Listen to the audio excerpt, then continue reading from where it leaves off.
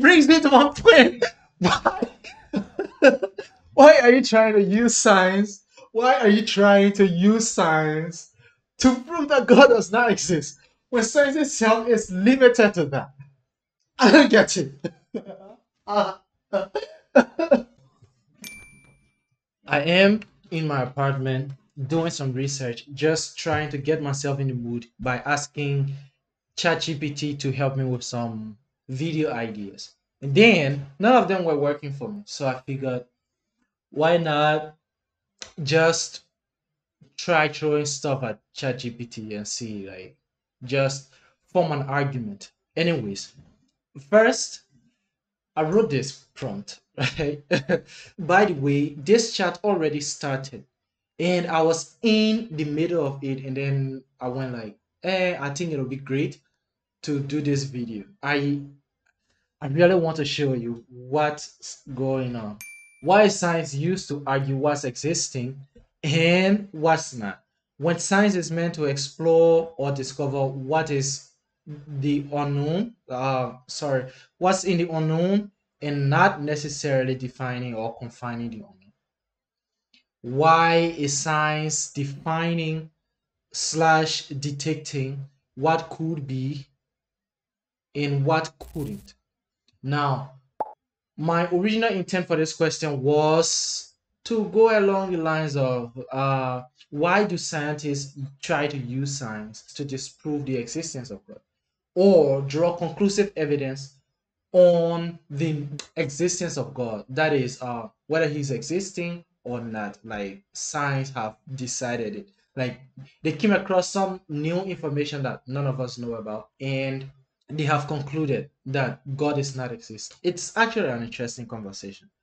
First, it says that uh, your question touches on an important aspect of the relationship between science and our understanding of reality, which is cool. So, first, it talks about the empirical nature of science, you know, that uh, science is based on empirical evidence and scientific methods, which involves making observations, forming hypotheses, conducting experiments, and drawing conclusions, da da da.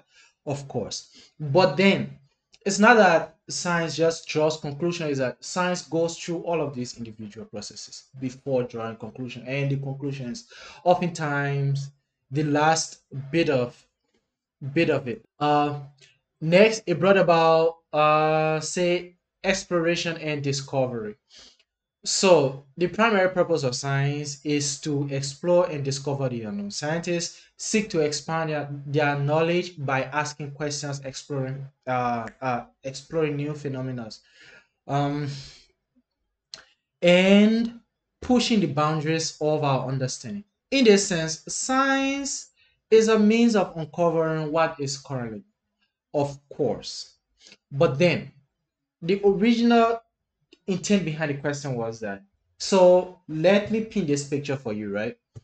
Take knowledge as a huge void or darkness you know just complete darkness and miles and miles of information that are not discovered. Now science is like the flashlight or the torch that you use to navigate that realm of darkness and uninhabited land so science is okay, I'm walking in this darkness, I found a rock.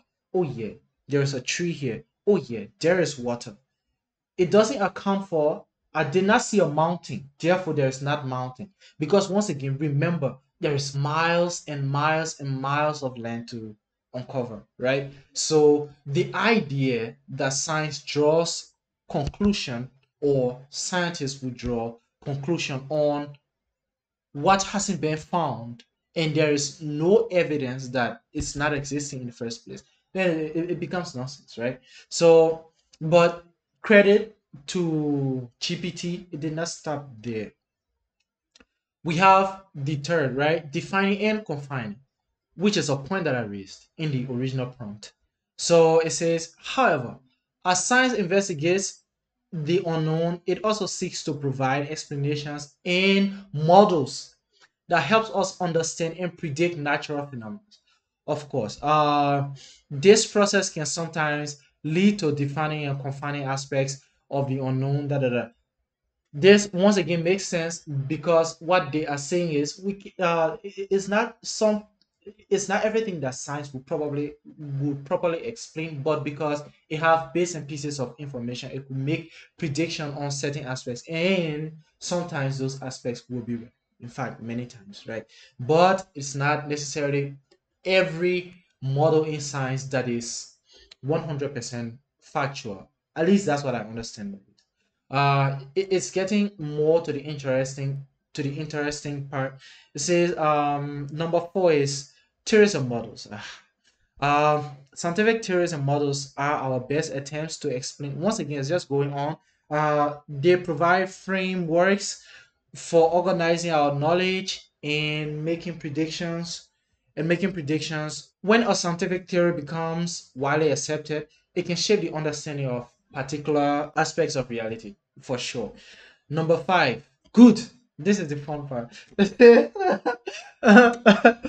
says limitations of science.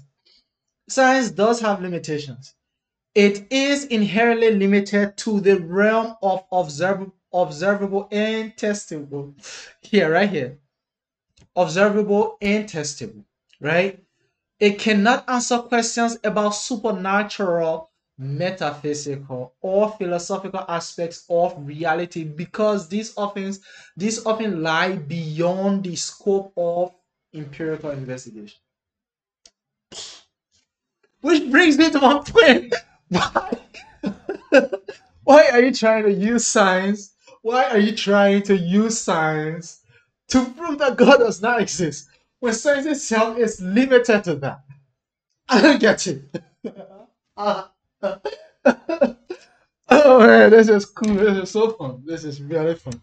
Whew. When science itself is limited, right? So how can you use science to prove the existence of spirit?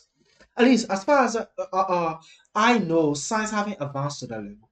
So, sure, maybe these ghost hunting movies have that ghost detector, which I don't really believe, but they do. And for some reason, some people believe that it's accurate or it's not accurate. But science itself has not reached that conclusion. Hold on, this is too interesting. I gotta make sure that my phone is recording.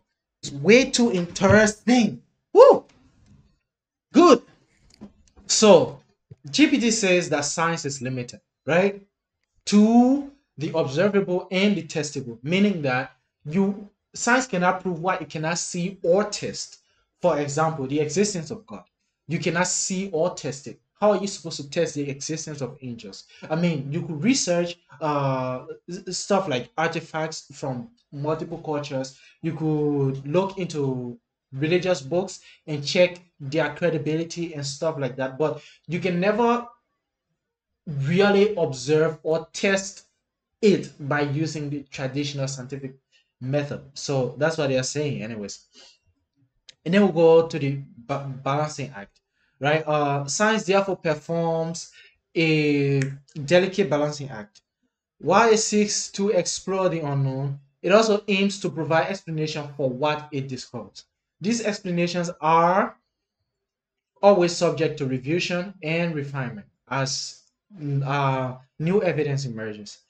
In this sense, science doesn't necessarily dictate that. Uh, uh, uh, uh, sorry, science doesn't necessarily dictate what could or couldn't exist, but rather offers our best current understanding based on available evidence. So, what GPT is saying is when you start your walk in the darkness and you cover two miles, the amount of rocks that you see, science will account that these are the rocks that we have seen so far.